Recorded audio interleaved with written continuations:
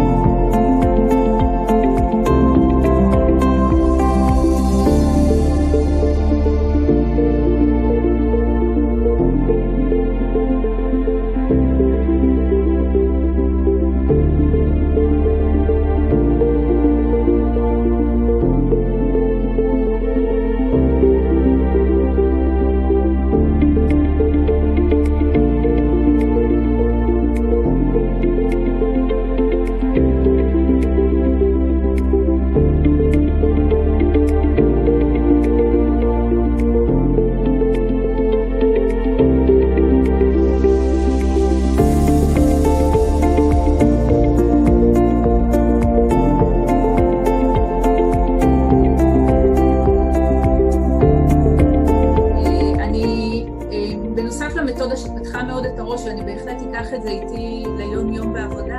אני רוצה להגיד שלמדתי כאן גם איך אה, מנהלים עבודת צוות שיתופית בעזרת אמירו ובעזרת שיתוף פעולה. לקחתי הרבה מאוד ואני בהחלט איישם את זה עוד היום. אז אה, תודה רבה לכולכם.